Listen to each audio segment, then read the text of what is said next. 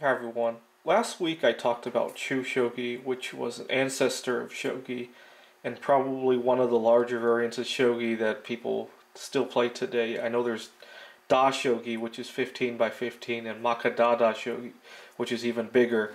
But Chu Shogi is probably the largest one that's still in play today. In this video I'll be going the other extreme and talking about small Shogi variants.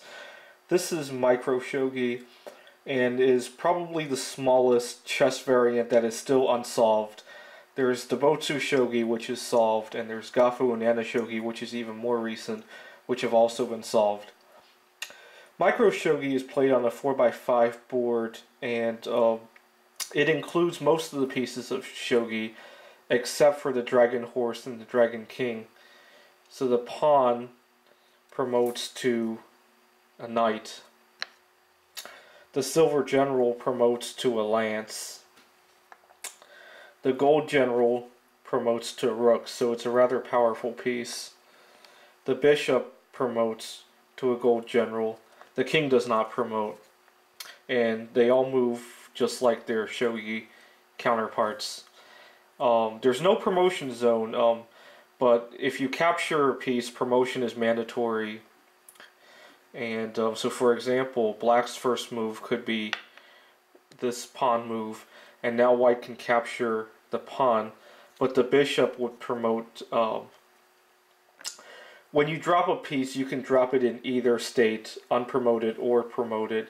So, for example, let's say black does this move. White can drop this as a knight here, and this is actually the shortest checkmate of the game. So here black is checkmated.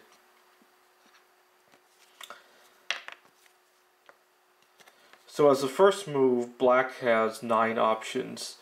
One, two, three, four, five, six, seven, eight, and nine.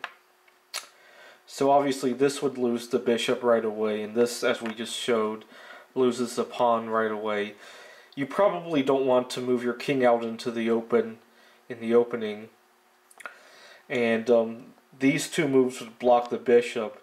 From my experience, this is probably black's best move, but I'm not an expert, so if you know otherwise, uh, please let me know.